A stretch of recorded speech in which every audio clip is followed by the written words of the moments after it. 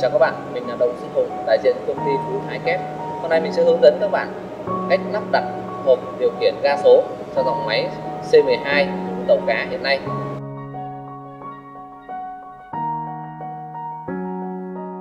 Đây chính là hộp điều khiển cần điều khiển ga số được công ty Phú Thái Kép cung cấp đến cho khách hàng ờ, hiện nay. Thì nó bao gồm một cái cần ga màu đỏ và một cái cần số màu đen ở đây ạ các bạn chú ý là cái ờ, hộp điều khiển ga số này thì sẽ phải được lắp đặt ở trên phòng máy chính trước khi uh, kỹ sư của công ty Phú Thái đến làm công tác bạn ra máy ạ.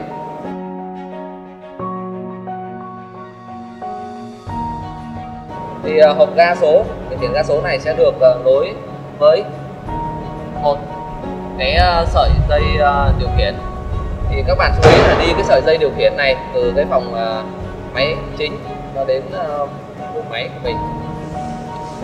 Uh, một điều chú ý nữa là cái uh, sợi dây uh, dẫn tín hiệu uh, ga số này thì sẽ phải được lắp trên một cái giá đỡ uh, đủ đảm bảo đủ cái độ cứng vững không bị ảnh hưởng bởi cái nội dung của máy.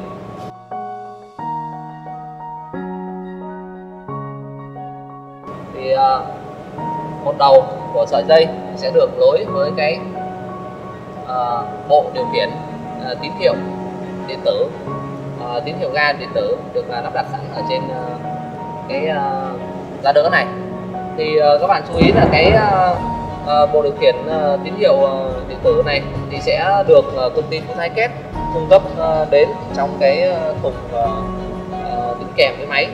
Thì khi nhận được chúng ta chú ý là sẽ phải lắp đặt uh, theo cái hướng dẫn ban đầu của máy.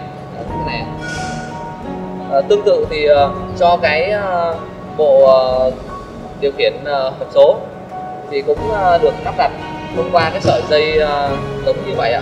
Đó là sợi dây uh, điều khiển này đối với cả cần số. Thì uh, sẽ được uh, lắp đặt trên cái hộp số của khách hàng.